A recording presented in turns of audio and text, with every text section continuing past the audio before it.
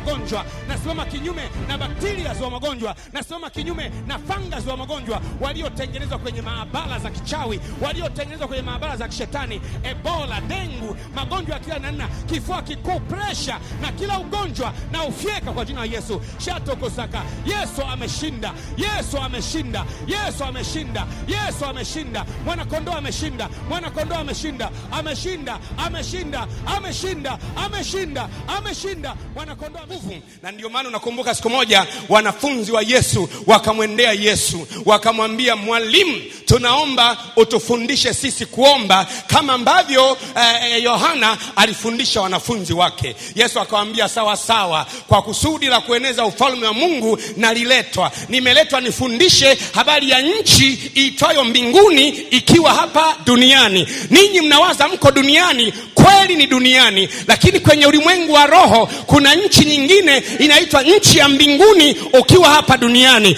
Unapomwamini Yesu unaingia kwenye hiyo nchi ya mbinguni inaitwa ufalme wa mbinguni.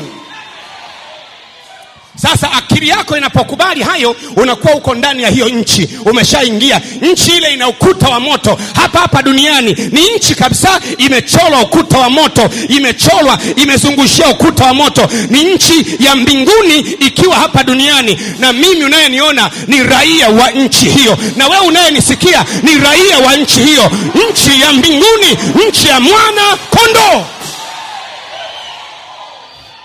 Hebu sema amen, amen. Nataka kila mtu ajue concept hii, alafu baadaye twende kwa pamoja. Na ndio maana sasa neno la ufalme linaibiwa.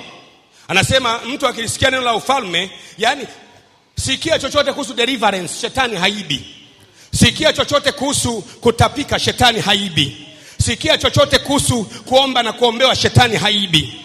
Sikia chochote kuhusu kuhusu uchumba, shetani haibi. Chuku, lakini neno la ufalme anajua utakapolielewa vizuri neno la ufalme utajua hujajiunga na dini atajua utajua aa, kumbe kuokoka maana yake nimetembea kutoka utawala mwingine wa giza upo hapa duniani. Kuna utawala wa giza upo hapa duniani. Kuokoka maana yake ume cross border umetembea juu ya maji umepita kwenye bonde ukaenda mpaka upande wa pili ukaingia ufalme wa mwana wa pendo lake. Haleluya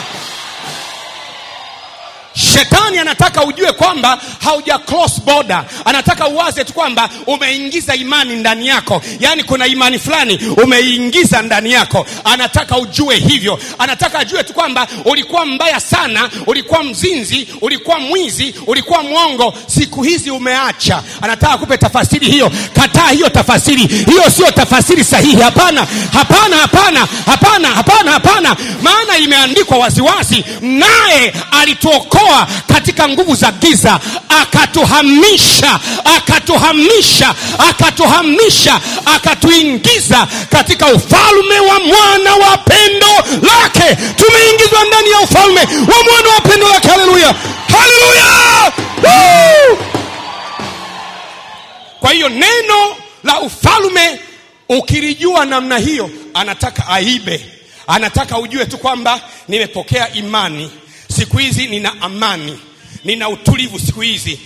Ndiyo hiyo ni sehemu lakini kilichofanyika ni kwamba kwenye ulimwengu usioonekana hapa duniani unapopaona hapa ni ufalme kabisa wa giza wa shetani ambaye na yeye watu wote wasio na yesu wasio ndani ya yesu wako kwenye ufalme. Kinachotokea yesu alipokuja kutoka mbinguni akadondosha ufalme wake akawambia jamani kwenye ulimwengu wa roho kuna nchi inaitwa ufalme wa mbinguni. Na hii nchi ina katiba yake inaitwa bibilia na hii nchi ina sheria yake inaitwa bibilia na hii nchi ina raia wake wanaitwa wana wa ufalme. Na hii nchi ina raia wake wanaitwa raia wa mbinguni wakiwa duniani. Na hii nchi ina raia wake wanaitwa mabalozi wa mungu aliye hai wanamwakilisha mungu duniani. Kila anayemjua yesu ni balozi wa ubalozi huu na mungu baba ndiye kiongozi wa ubalozi huu kwa jina la yesu